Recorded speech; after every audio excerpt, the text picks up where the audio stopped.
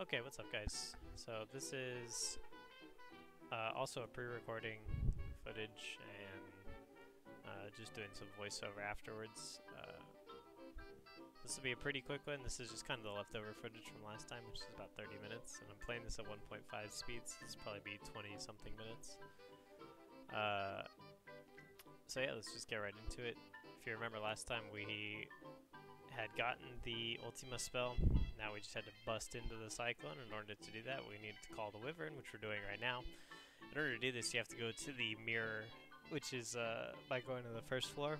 There's some stairs on the left and work your way up, which will call him. And then uh, the game doesn't tell you this.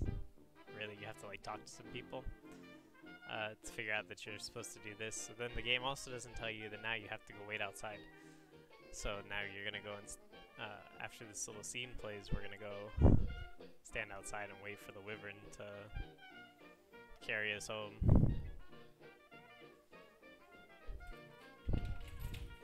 This game definitely gets a little jumbled with uh, like where you are and aren't supposed to go. I think. I think it's definitely a fault of it just being an old JRPG. But like, like I'm gonna run around and find stuff that I've already found because it's been so long and I don't really know what else to do.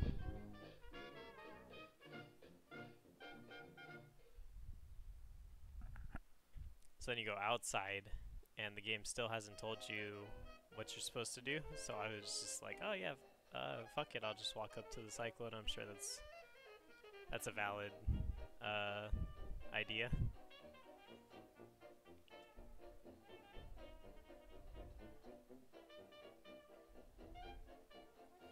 You know, we have a quick fight. I'm still making the mistake of teleporting everything, which is a mistake that I know is a mistake in hindsight, but I didn't know at the time. If you ever play this game, as soon as you get the Ultima spell, you should just use the Ultima spell. You should not try to teleport everything, because it's not going to get you very far at the end of the game. Well, you know, I was young and dumb.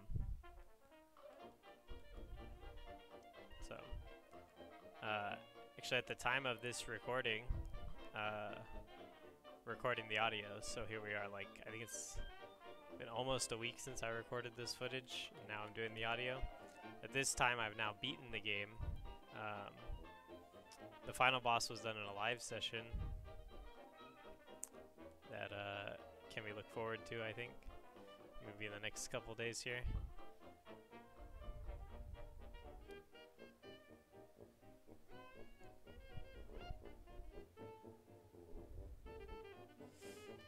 And then um, after this, we'll be starting. I think I talked about it in that video too. But after this, we'll be starting uh, the Snow Queen quest of Persona 1.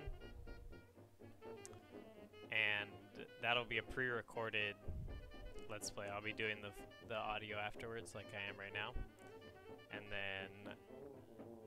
Uh,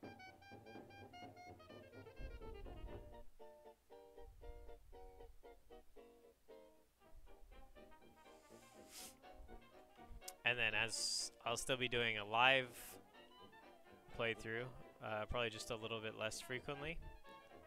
Uh, and that will be a game that I haven't decided on yet. So, as soon as I do decide on that, that'll be something that we work on. Um, right now I'm thinking maybe like Legend of Dragoon or something, but I don't want to play a game that's too like overly long. So anyways, now we're inside of the Cyclone, which is uh, not a greatly long dungeon, I don't think. Um, but it is, you know, still a dungeon. Um, a lot of the enemies here are going to just be former bosses, like the... Uh,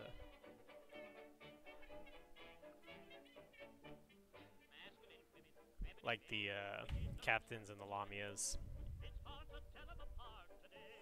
Oh, you know what? I think I do get lost in this dungeon, though. For like a little bit.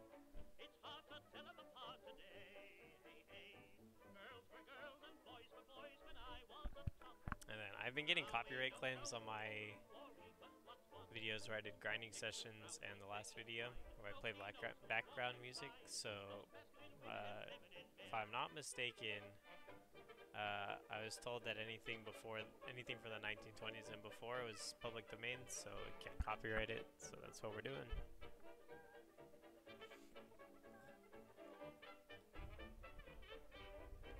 But I mean, it's fine either way. It's not that big big of a deal.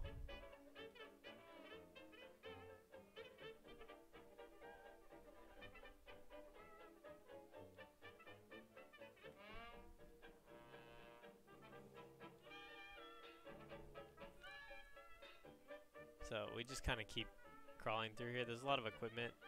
Um, there's also a lot of monsters in the boxes, so those are going to be fights uh, to watch out for. It's also before I like realized that uh, that it's a good idea to like organize my inventory. It's not something that I do until uh, much closer to the end.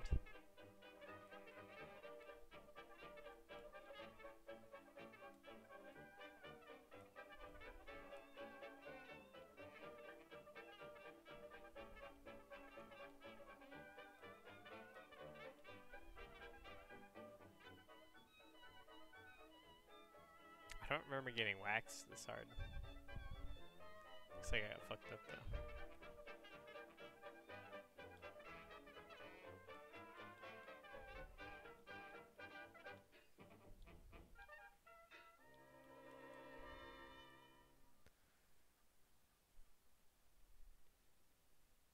Looks like I got fucked up in this fight.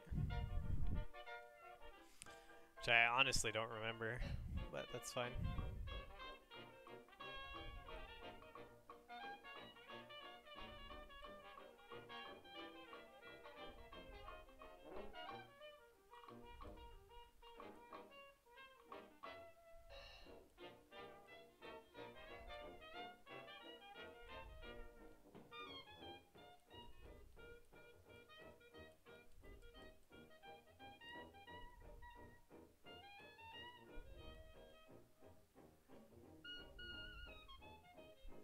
We do make it out of it alive, barely.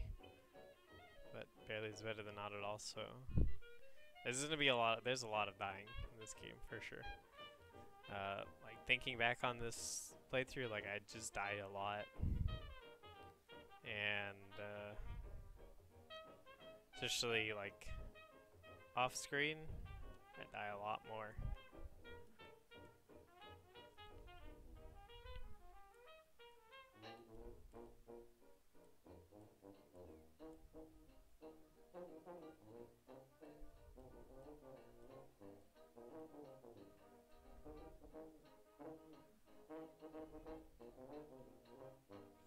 Another like kind of issue I have with this game is that um, mana cost increases with level of spell. So like the higher the higher level your cure spell is, and like therefore the more effective it is, the also the more mana it costs. Which like makes sense is like higher level spells should cost more mana to use, but it's also kind of just like intrusive because it just increases by one every time it gains a level, and it's not like every time it uh. It's not like just a flat cost that increases as you upgrade the spell, uh, like periodically, like it normally would be in a, a game like this. Like, it's not like a cure going to Cura, which obviously increases the mana cost. It's like a cure 1 to going cure 2 to going cure 3. The mana cost is increasing a bunch.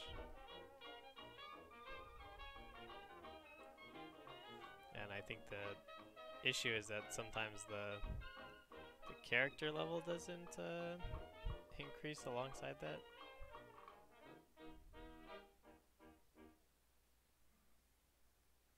Oh, yeah, these golems gave me a lot of fucking trouble too. Like, these were not okay enemies for me to be fighting. Especially the later ones, the... You're gonna run into, I think it's like two or three more types of golems. Mainly the um, the mithril golems in the final dungeon are the worst.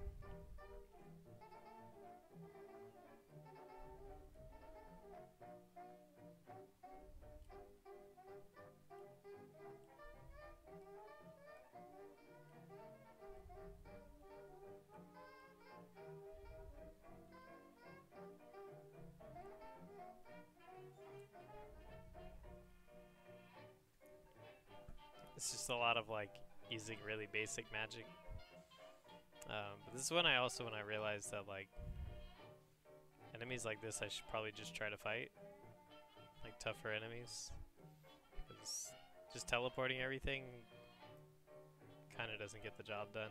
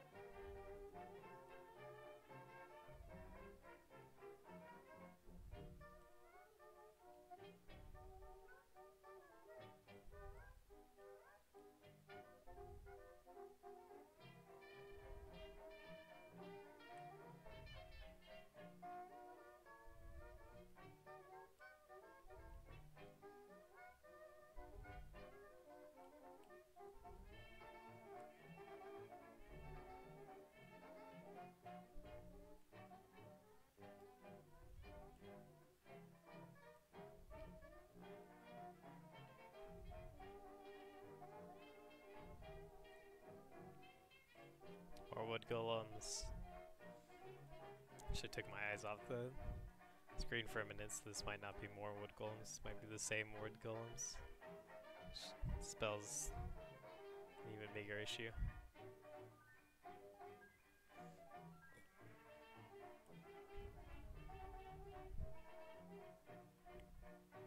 How fucking annoying these things are.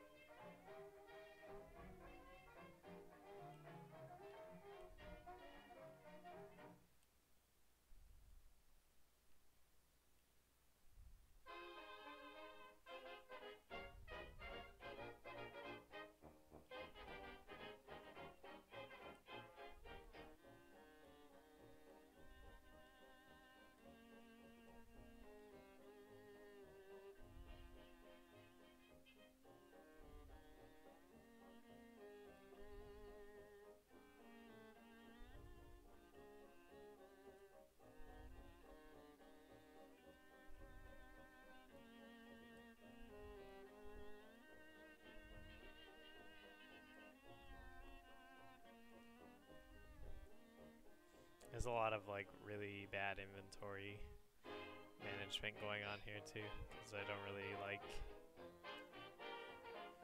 structure my inventory well at all.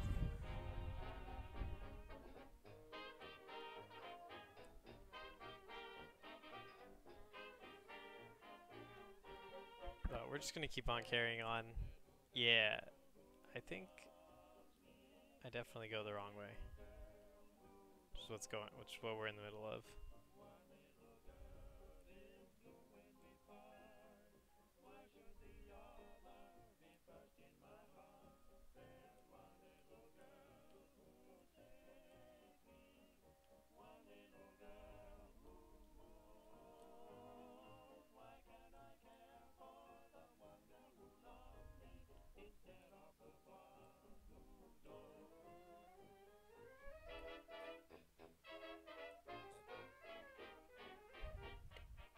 It's gonna be a lot of Malboros too. Uh, in this area and in the last like two dungeons, they just become a big like a big enemy for a while. Um, is kind of an issue, I think. You have to be uh, definitely have to be prepared with the uh, the remedies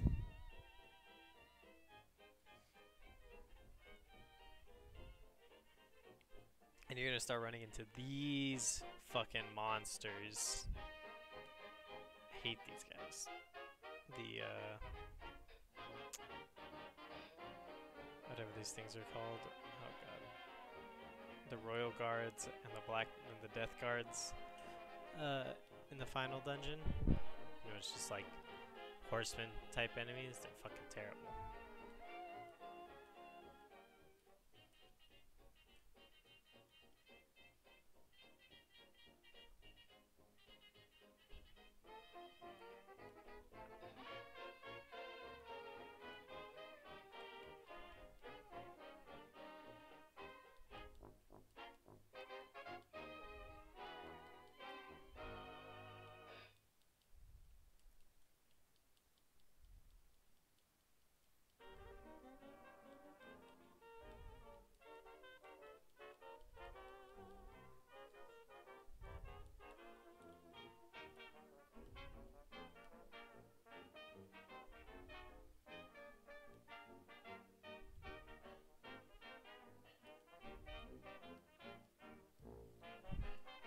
Lot of item usage.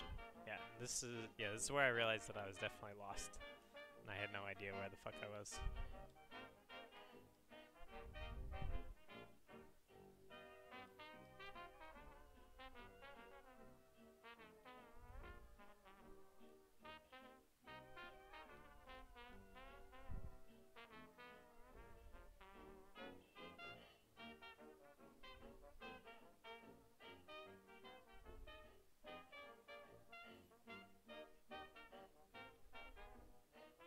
Of kind of like annoying enemies too.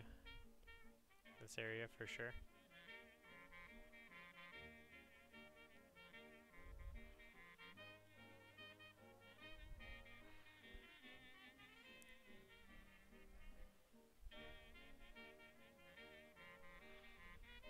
Oh, got a little bit of a stutter there.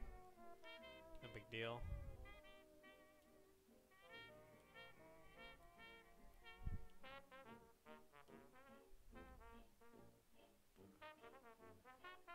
We'll just carry on. I don't think this is a very productive uh,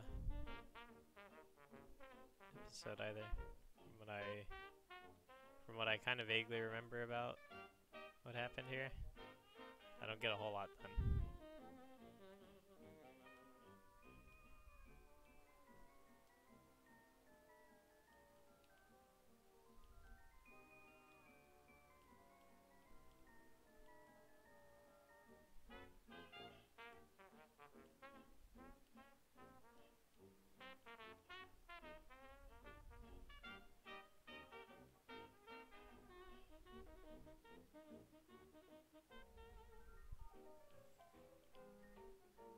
I do get some good experience though. Again, I don't think that grinding in this game is as impactful because of uh, how leveling works, how like the experience is.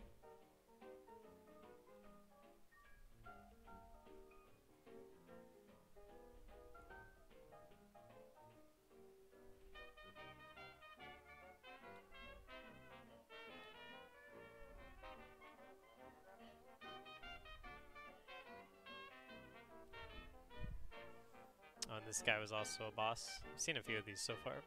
This guy was also a boss earlier in the game. Um, that has now just been shamefully recycled.